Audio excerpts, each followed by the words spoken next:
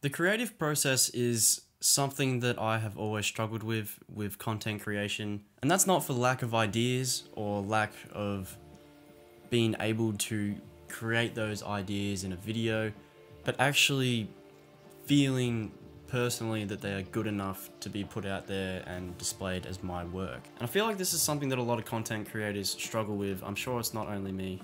I have many videos for YouTube that I had either filmed and not edited, filmed and started editing, or finished the edit, but have never been uploaded to YouTube. One of these being when I went away to the Murray for two weeks. I was to film a really nice edit full of cool shots and lots of action, lots of fun. I would have I had him in my head. In my head, it was a really, really good looking video and would have killed it with my personal rating of my video. And I was also going to film a vlog, and I did start filming both of these videos, but I never made them.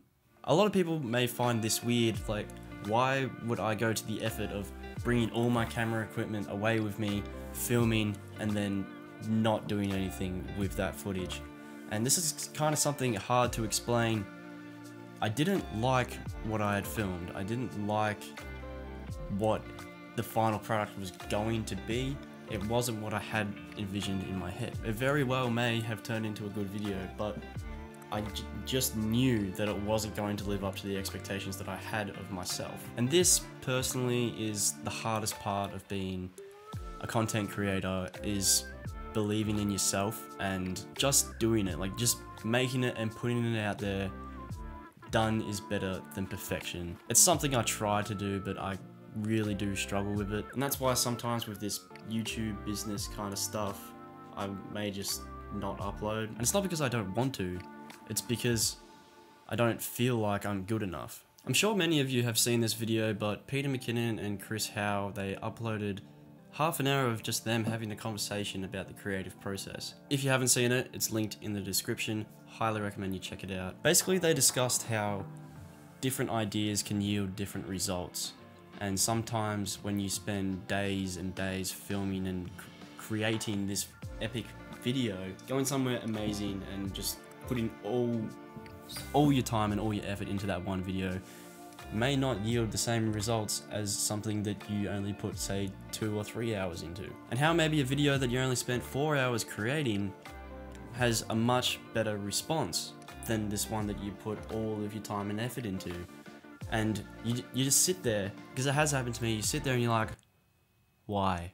Why that one? Out of all the videos, why that one? And that's because it's not all about the production. I get very psyched out when I'm creating a video, mainly in editing. Once I get to editing, I get psyched out of it because I go, oh, this isn't good enough. The B-roll isn't on point. Uh, the structure of this video isn't quite right.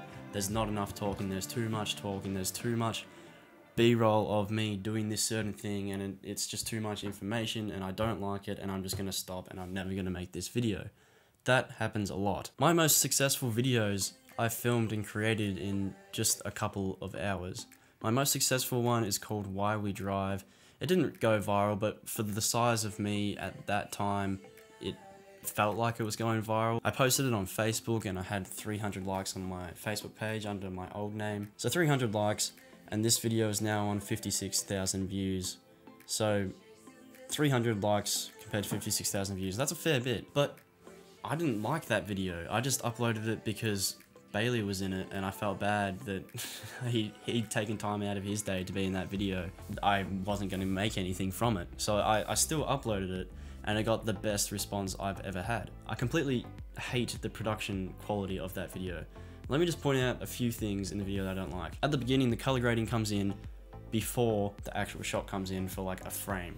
The audio quality is terrible. I don't like it one bit. The color grading is really off and just not right. I used warp stabilizer like I do in lots of my videos, but I didn't use it well because this was when I was just starting out. You can see in this shot, the roof of the car is all warped and all weird, and probably now I wouldn't upload this video, but I should.